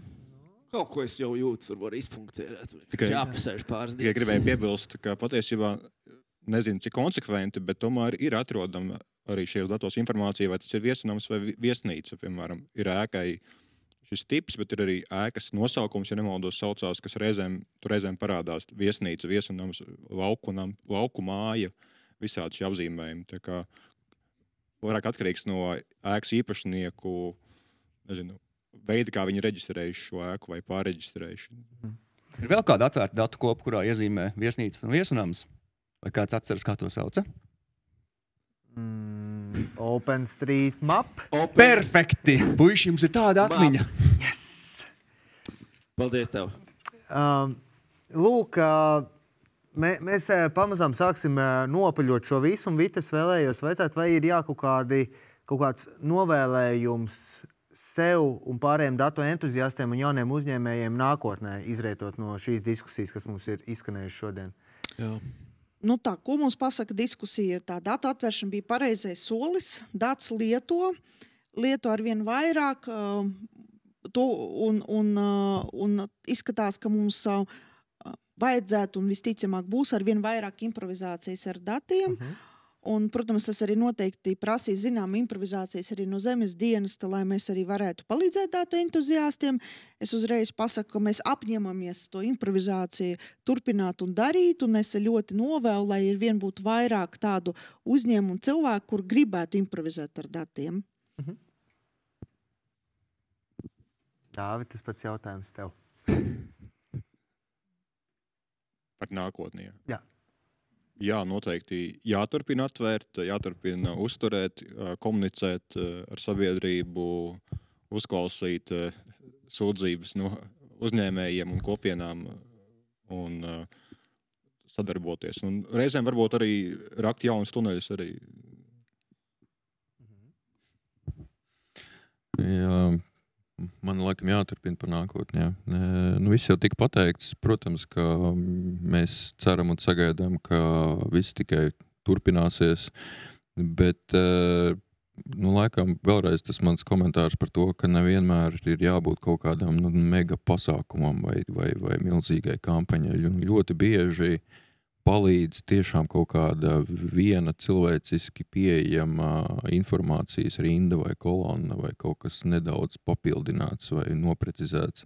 Tam bieži vien var būt nu, stipri liela ietekme uz to, kā pēc tam kaut kādi uzņēmumi vai organizācijas ar šiem datiem strādā.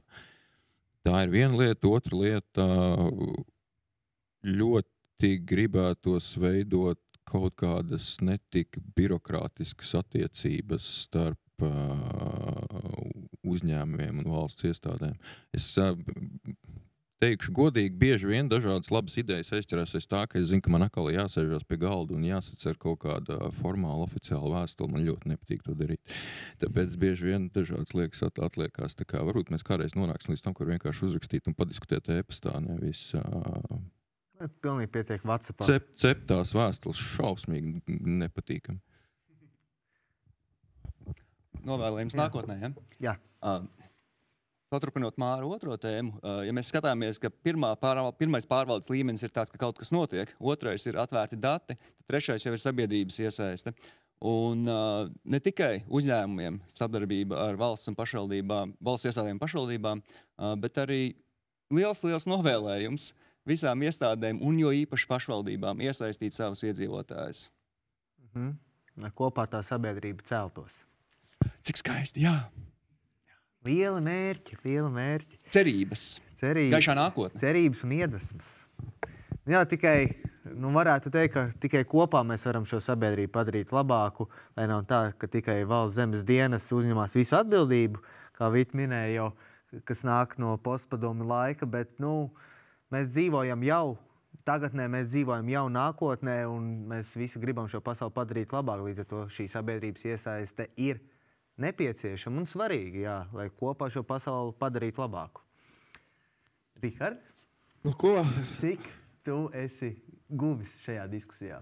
Es esmu guvis interesi, un es ceru, ka kādam cilvēkam, kas skatījās mūsu arī tiešraidē, aizķērās uh, un kļuva interesantāk, un varbūt iedrošināja paskatīties vairāk, kāda dati ir pieejama un ko ar viņiem var darīt, un paeksperimentēt, jo nu, tā teikt, ar viens prāts var iedvesmot kādu citu prātu un tur atklāt kaut kādas lietas, kas uh, varbūt vēl pat līdz šim nav izdomāts. Man, manuprāt, tas... man kā radošam cilvēkam, es domāju, es tam pieķertos klāt. Es tur neesmu dalākā, lielākais datu tārps vai IT cilvēks, bet to savu radošumu es pieļauju, ka es atrastu interesants veids, kā kaut ko tādu pielietot. Tā man, man palika tikai pašam interesantāk. Man šeit tā jau ir uzvara. Jā, un laikam tas, ko es varu vien iedrošināt, ko es tāds foršākais sausais atklājums no šī ir e, visiem jauniem uzņēmējiem un cilvēkiem nekautrēties, vaicāt, jo tā tiešām ir tāda uh, lieta, kas ir ļoti svarīga. Ma, mans teiciens, ko, ar ko es dzīvē eju, nāk no manas mammas. Pajautā, pa galvu nesitīs. Jo kas var sliktākais notikt? Jā, nu, nu, pateiks, nē, vai dienī. nē, nu, bet mēs visi esam viensprāts, ka mēs gribam jā. šo pasauli padarīt labāku. Man ar to- audzināja citādāk. jā. Es prasīju, man tā sita.